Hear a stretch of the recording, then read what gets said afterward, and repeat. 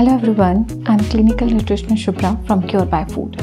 Today I'll be sharing you a sample diet plan which will help you to be prepared for the monsoon season so that you will not waste your time in illness and can enjoy the natural beauty of rainy season. So here we go.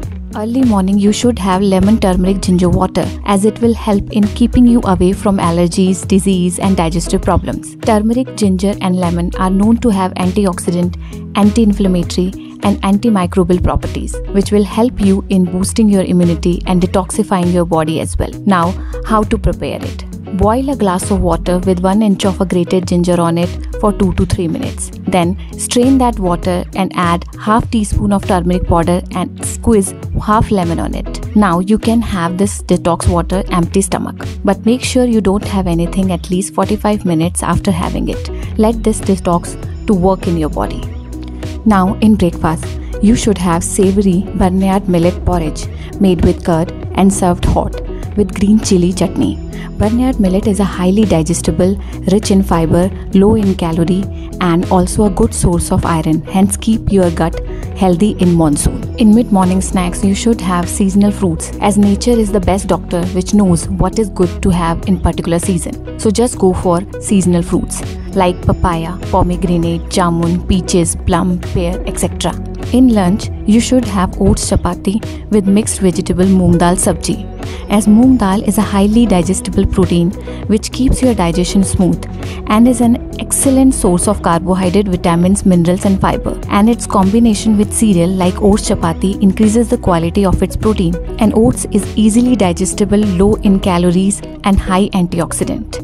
Now, in evening snacks, you should have tulsi ginger tea along with 3 to 4 pieces of a grilled paneer. Tulsi ginger tea have lots of medicinal properties which keeps you away from diseases during monsoon. People generally have cravings for deep fried foods like pakoras, samosas, etc. which is unhealthy and can be replaced by grilled paneer as evening snacks to counter your cravings. Now coming to dinner. You should have ginger garlic soup. As we know during monsoon digestion and immunity becomes poor. That's why we are more prone to infection like cold, cough, congestion. So we need something which is full of vitamins and minerals. And this bowl of warm garlic ginger soup is an a good example of that.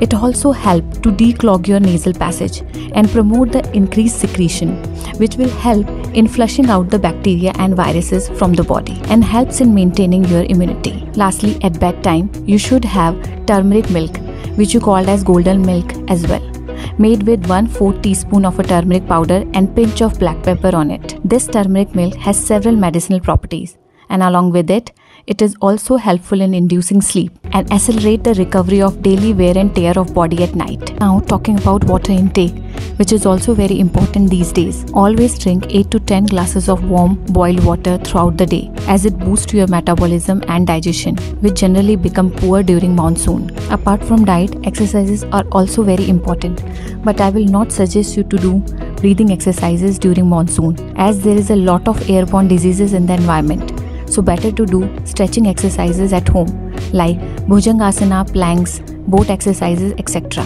Hope you like this video. If you need an online consultation and customized diet plan from us, we have a details in the description box. If you like this video, don't forget to share this with your family and friends. Do subscribe and like us. And don't forget to press the bell icon so that you will get the further notification of our coming videos. Thank you very much. Bye bye.